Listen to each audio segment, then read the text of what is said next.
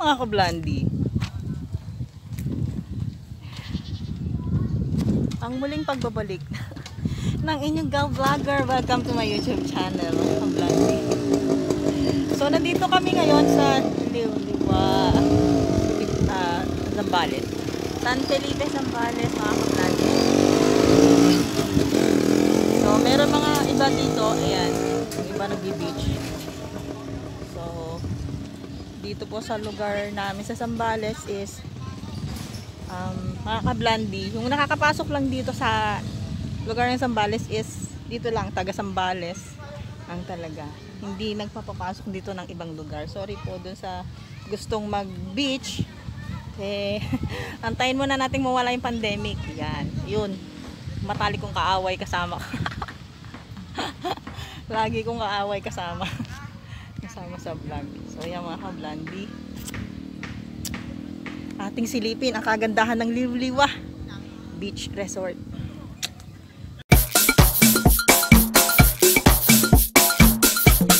So, meron pa dito. Yan. Tsunami Hazard Zone. Yan, meron sila mga warning dito, mga kablandi.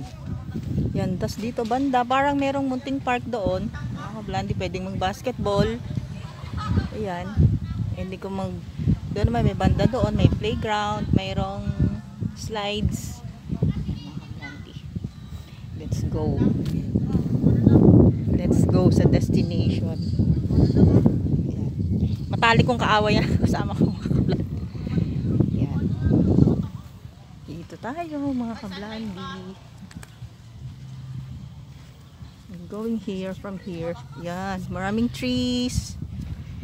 So magandang time na pupunta kayo dito mga kablandi siguro mga ganitong time.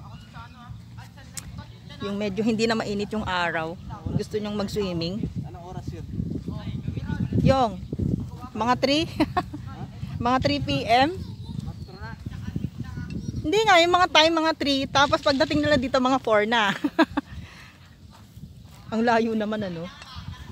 Mga 4 PM, pwede na kayo mag-swimming kasi hindi masyado nang mainit doon mga kablandi.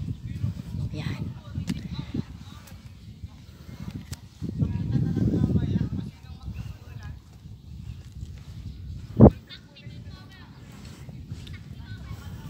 Malayo pa mga kablanti, malayo pa ang uh, dalampasigan.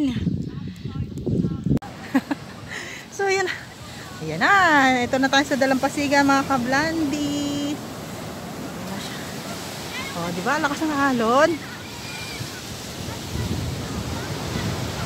Medyo konti lang naman na naliligo mga kablandi. Hindi naman ganun kadami. Ang init. So maganda dito mga kablandi. Ang sunset.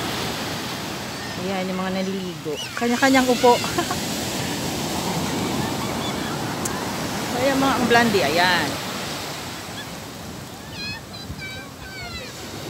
So sometimes mga kablandi, yung iba, gusto nilang nagsisurfing sa ganitong kalakas na alon. Yan. Kaya lang walang nagsisurfing ngayon eh.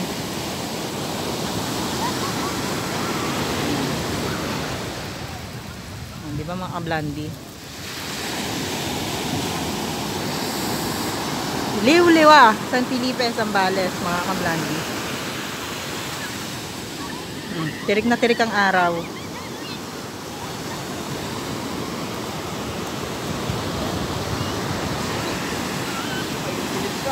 Direk na direk ang araw. Ang dami na, konti lang mga naliligo. Siyempre, family. Yan. Mga kablandi. Walang masyadong ano dito, mga cottage cottage. Bali sa, kab sa kabilang part doon, banda, is ano, doon, mga kablandi doon, sa kabilang part doon. Doon, may mga cottages doon. Pwedeng, pwedeng doon mag, ano, mag, uh, mag-arkila ng mga, ano, cottages. Meron doon mga, may air condition. Yan. Break time naman mga kablan dito. Paborito ko tong drink na to. Hindi po ako sponsor nito ah. Baka naman. Saka ito. May baon.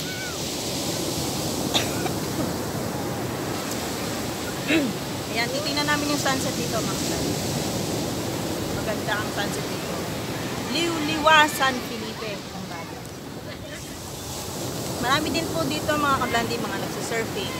May nangingisda. Maganda po mag-surfing dito. Kasi malakas yung alon niya.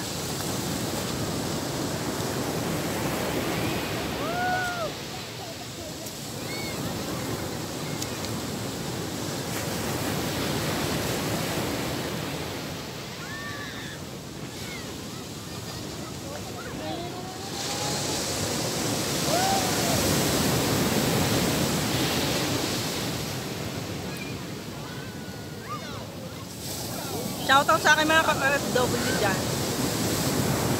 Uwi na kayo para makapag-beach na kayo. Sa akin mga ka-OFW dyan sa Qatar. Pag uwi nyo, namnamin nyo ang beach. Masaya at ma masarap talaga ang pakiramdam kapag ka makapag-beach kayo. All over the world, sa lahat ng mga OFW, lagi po kayo mag-iingat yan because meron na naman tayong pangalawang ah, tinatawag na ano to? Sabi ano yun? Isang COVID COVID ano to? Tatawag ko kasi sa tuloy sa balita So, mag-iingat po tayo mga ka-OFW ko. Mag-iingat po. Sa mga pauwi, mag-iingat po kayo. Pauwi ng mga OFW, mag-iingat kayo. Lagi kayong mag-iingat. Kasi mahirap magkasakit.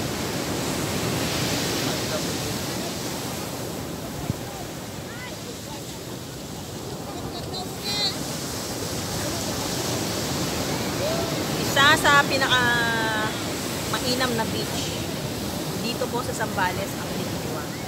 So, dun sa mga taga Sambales, yan.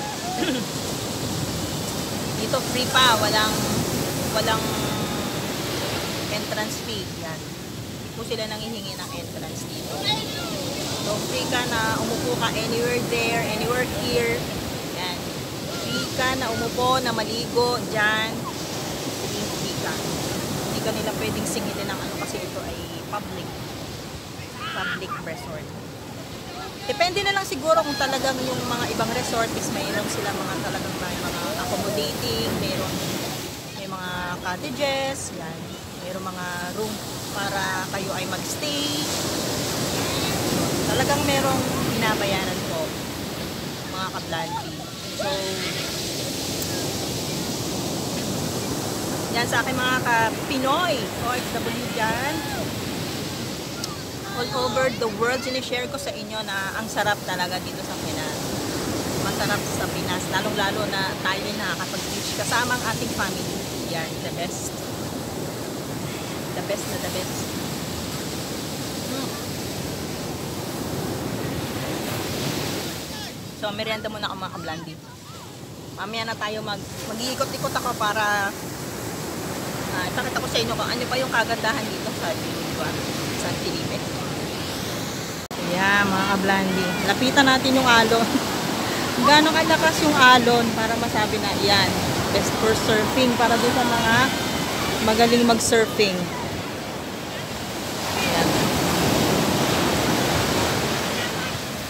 Ayan. Mga kablandi. Oh. Diba?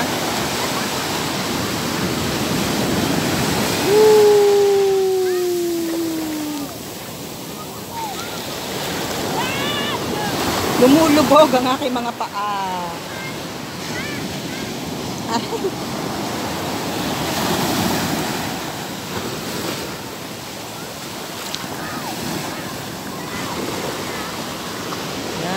Kablandi. Me- Medyo marami pa rin yung naliligo po. Mga kablandi. Kahit na ganito. Pero syempre mga kablandi, syempre mga taga Sambales yan. Yan.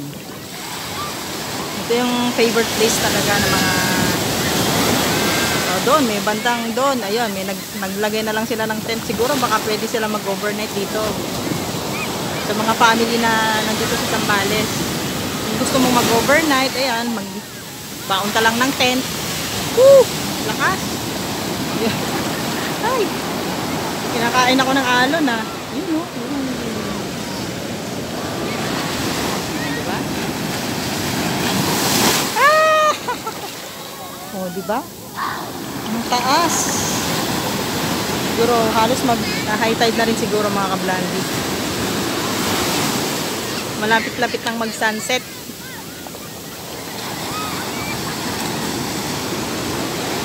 Yun. Yun, doon. Yan. Ay, lumulubog ang aking mga paa. Sa lakas ng paghigop ng agos. Yun, no? Bali, wala akong nakikitang nagsisurfing ngayon.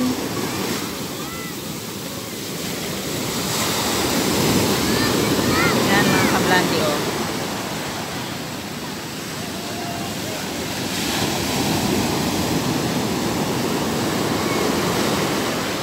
Mm.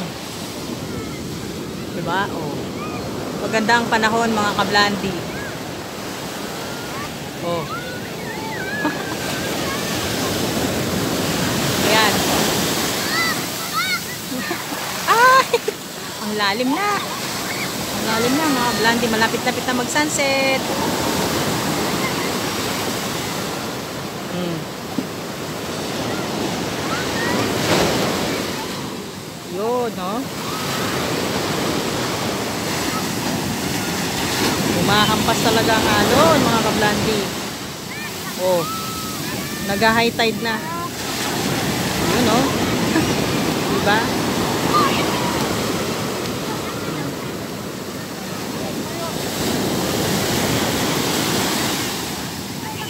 Medyo ingat-ingat lang din siguro sa pag-swimming dito kasi sobrang lakas ng alon dito. Ayan, kailangan talaga eh yung mga inyong mga anak-anak kailangan kasama kayo para syempre may iwasan yung pagkalunod, di ba? Minsan naman, syempre, kahit tayong mga matatanda, matatanda daw, oh, mga umeedad, syempre hindi natin maiwasan na tayo ay magkaroon ng cramps. Ayan. So kahit magaling kang lumangoy, once na na naranasan mong magkaroon ng ng uh, pag-cramping sa yung mga paa. Yan, nag-high tide na. Siyempre may tendency pa rin yon mga kablandi na baka tayo eh ano, alam niyo na eh lamunin ng alon.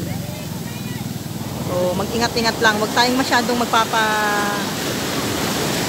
magpapaakit sa ganda ng karagatan. Kailangan dito lang tayo sa may kahit tayo marunong lumangoy, dito lang tayo sa may tabi-tabi. Okay, okay na rin yan. At least uh, natikman natin kung paano yung uh, uh, kung gaano ka saya ang mag-swimming sama ng ating family. Yan. Diba, talagang nagagalit ang alon ngayong araw na to. Ayan siya. Galit na galit ang alon mag-high tide na maya maya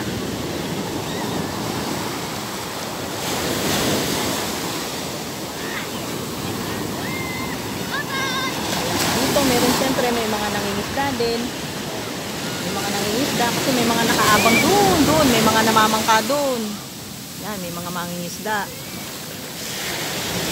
Isda sila yan Ayan, di ba? Walang kumaga ang saya pag ang mga anak mo, nakikita mo, masaya sila, nakikipaglaro sa alon. Pero syempre kailangan laging watch out sa ating mga uh, watch out tayo sa ating mga anak. Ayan. Sa ating mga kiddos. Ayan. Kagandahan ng uh, Liwliwa. San Felipe, Sambales. Ayan, o. Oh. Ayan, mga kaplano.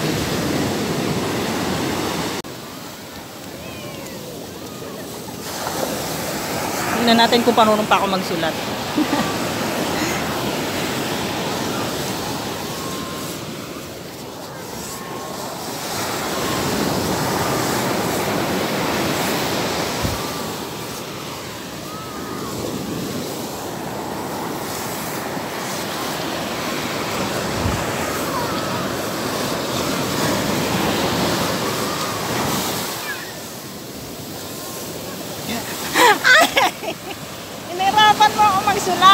Buburahin mo lang. Bastos ka, ang bilis. Bagal ko kasi magsulat. Daya! Walang ya. Wait lang, gal. Hindi na nga pantay eh.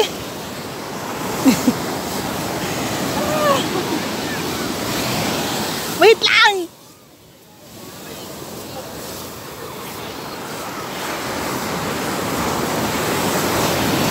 Ayan na! Ayan na! Ayaw mabuo. Ayaw mabuo.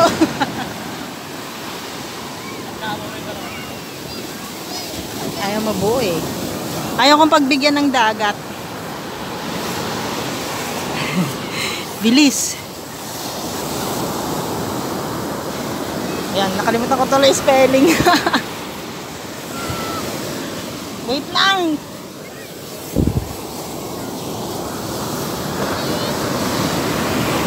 Kaya na naman.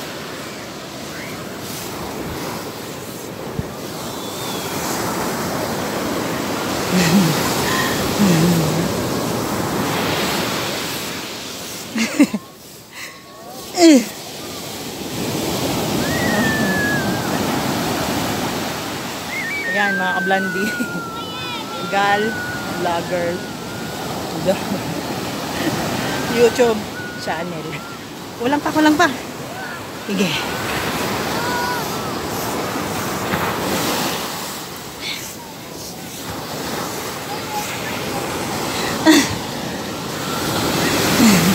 Ah! Ayan na! Ayan na! Ayaw! Ayaw! Ayaw niya! Ay! Ano kasang alon? Oh my God!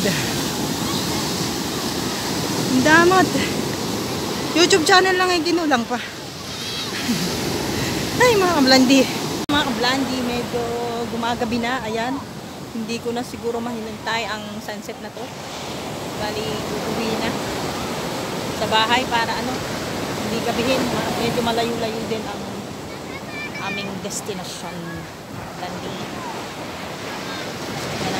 Salamat sa inyong panonood sa mga subscribers. Maraming salamat sa inyong pag-subscribe sa aking channel.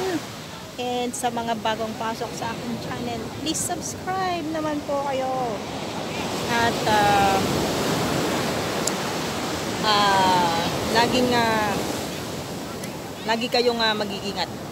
Blandi. Yan. Ah, hit the no- notification bell na rin sa mga magiging subscriber ko para lagi kayong updated sa aking mga i-upload na mga vlogs. Blah, blah, blah. Hanggang dito na lang. Bye-bye.